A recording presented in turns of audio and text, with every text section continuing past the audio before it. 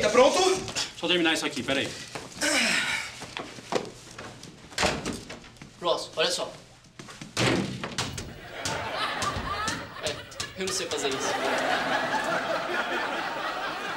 O que você tá fazendo? Cara, você já viu o novo site dos alunos? Cara, é muito bacana isso. Pode mandar mensagem. Saber o que as pessoas estão fazendo, postar foto. Ah, ótimo. Uma forma rápida de saberem que eu tô desempregado e não tenho filhos. Que beleza. Quer dizer que você não sabe, ou que você não gosta do que as pessoas estão fazendo. Lembra da Andrea Rich? Ah, aquela autona que não transou com você. A empresa dela faliu e ela perdeu uma orelha, cara, num acidente. Olha aí, aposto que agora ela transaria com você. Oportunidade de sexo. Não. Eu mandei e-mail falando sobre isso e nem sem orelha. Deixa eu ver o que você tá escrevendo aí, vai. Uhum. Doutor em paleontologia, dois filhos. Você e a Carol se separaram por divergências de interesses? Eu achei que vocês tinham se separado justamente por ter interesse nas mesmas coisas. Né?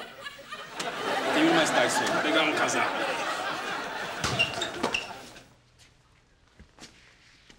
Será que você aprende a fazer isso em dois minutos?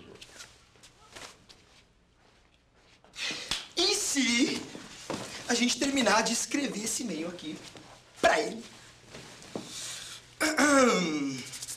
Vamos lá.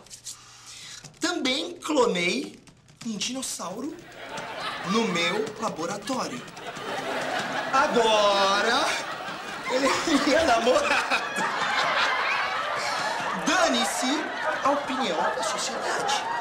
O sexo nunca foi tão gostoso. o Ross. Você não pode fazer isso com ele. Tô pronto, vamos? Joga pra mim. Pra mim. Vai. Deixei bem claro pra você que você não põe a bola aqui dentro. Nunca mais, filho.